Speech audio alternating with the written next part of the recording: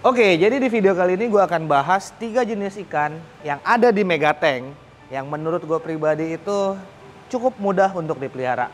Nah, yang pertama adalah ikan cana. Nah, di cana ini kok di cana ini, di Megatank ini kita ada ikan cana maru yang mungkin kalian tahu namanya adalah si mambo. Jadi secara umum ikan cana, kenapa dia ini sangat mudah dipelihara? Pertama, dia mengambil napas dari uh, sistemnya kan disebutnya sistem labirin ya.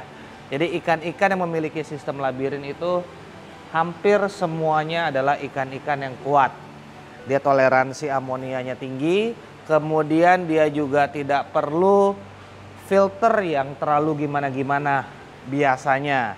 Namun tidak berarti kalian bisa seenaknya memelihara ikan itu tanpa filtrasi yang layak, tanpa air yang layak, tanpa perawatan dan tempat yang layak.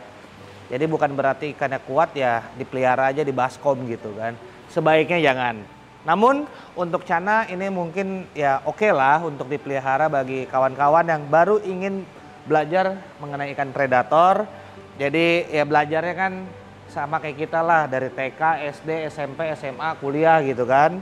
Jadi ya kelasnya mungkin yang TK-nya dulu nih. Basic-basicnya dulu dapat serunya dulu melihara ikan predator gimana. Nanti baru belajar filtrasi baru belajar bertahap lah. Semua nggak ada yang langsung pinter kok.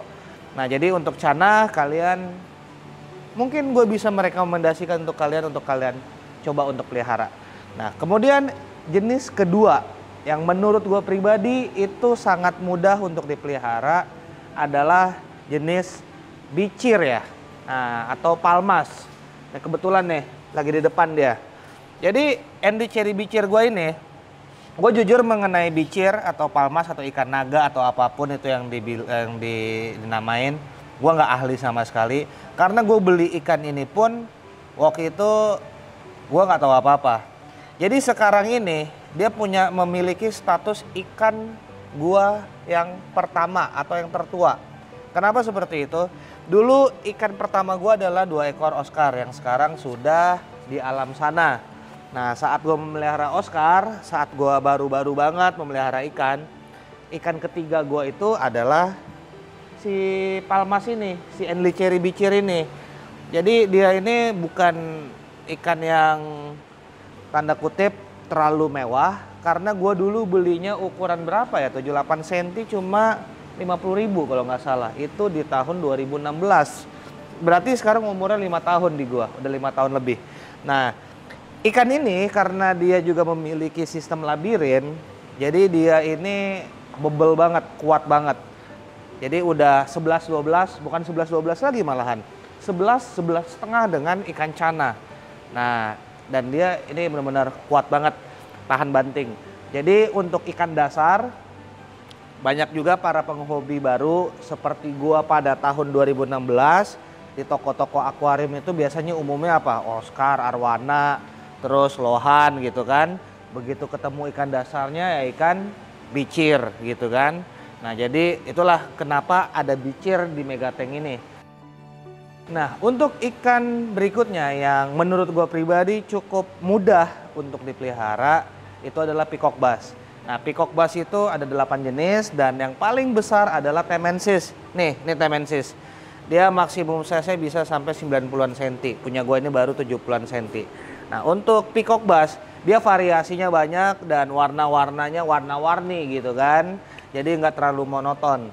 Nah, kenapa gue bilang peacock bass ini cukup mudah untuk dipelihara? Karena toleransi dia terhadap air yang tidak terlalu bagus masih cukup oke. Okay. Namun kalau kalian bandingkan dengan bicir dan juga cana, ya jelas peacock bass kalian udah harus upgrade ilmu kalian. Minimal kalian udah ngerti lah untuk mengurus filtrasi dan ganti air dan hal-hal basic lah. Karena untuk memelihara mau ikan koi, koki, uh, dan ikan-ikan lainnya, ikan predator, konsepnya sama. Semua itu ada di filtrasi, ada di air. Karena prinsip gua, kita ini sebenarnya hanya memelihara air. Ikan ini kita melihara ikan ngapain sih? Ngasih makan, terus apa? Udah kan? Nah, jadi emang kita harus memelihara air karena kesehatan ikan hanya sejauh kesehatan air kalian. Nah, jadi untuk peacock bass karena banyak dari jenis-jenis peacock bass ini itu harganya cukup terjangkau, terutama yang ukuran-ukuran baby. Jadi kalau kalian baru ingin belajar, kalian mungkin bisa membeli dari pibas-pibas yang berukuran baby. Kenapa? Jadi jangan sampai kalian beli terlalu mahal, terus kenapa-kenapa, kenapa-kenapa, terus akhirnya kalian kapok melihara ikan. Jadi beli dulu yang baby, belajar dulu. Misalnya nih terjeleknya mati, ya kalian nggak terlalu gimana-gimana. Karena nggak ada yang langsung pinter, nggak ada yang langsung jago. Pasti ber, bertahap. Jadi misalnya kalian pelihara terus ikannya mati, kalian harus tahu cari harus cari tahu kenapa mati.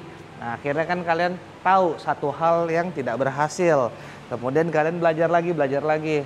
Jadi sebenarnya kalau gagal itu bukan sesuatu yang harus bikin malu gitu kan karena ya kalian jadi lebih tahu hal-hal yang tidak berhasil dan apa yang berhasil karena pengalaman itu yang paling penting nah jadi untuk peacock bass ini secara umum ya gue ngomong secara umum yang harganya masih terjangkau ukuran baby itu ya mono dan kelberry dan juga azul.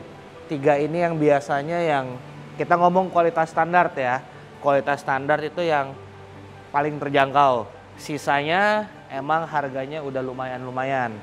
Nah, jadi biasanya yang udah beli upgrade upgrade upgrade itu biasanya emang udah ngerti peacock bass dan emang udah suka banget sama peacock bass. Tapi kalau baru ingin belajar ya gue saranin mainnya di mono, kelbe dan azul. Alasannya kenapa?